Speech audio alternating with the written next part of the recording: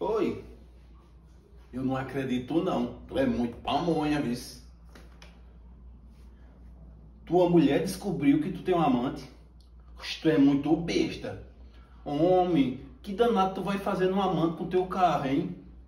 Aluga um Uber, rapaz, ou chama um Uber. Tu disse que arrumou um serviço em outra cidade e vai pro motel em outra cidade.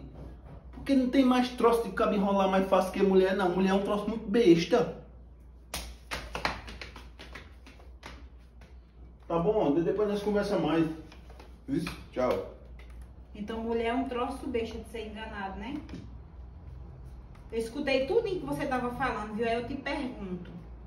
Tu acha certo isso que tu tava falando aí pro teu amigo? Eu esculachei ele, eu disse que não era certo. Aonde? Aonde que tu esculachou? Eu vi, tu, eu vi tu dando conselho pra ele fazer coisa diferente. Não, algumas coisas eu apoiei, mas em outras eu esculachei Eu não vi nada disso, viu? Eu não escutei nada disso. Foi porque tu, tu chegou agora. Cheguei agora não, eu tava ali na cozinha, eu escutei E tu tudo. tava na cozinha, tu tá ficando muito fofoqueiro nas conversas dos outros. Tu é sem noção. Tu não tem vergonha na tua cara, não? O que era pra tu dizer pra ele? Pra ele tomar vergonha na cara e respeitar a mulher dele. Eu dei um conselho, né? É diferente você apoiar. Conselho. Que conselho bom, né? Mas eu, eu xinguei ele, eu só andei nele aqui porque eu disse isso é coisa pra homem ser vergonha. Você, que é homem sem vergonha, tá fazendo um negócio desse. Ele trai e eu sou culpado. Você é culpado sim, você tá apoiando, como é que tu não é culpado?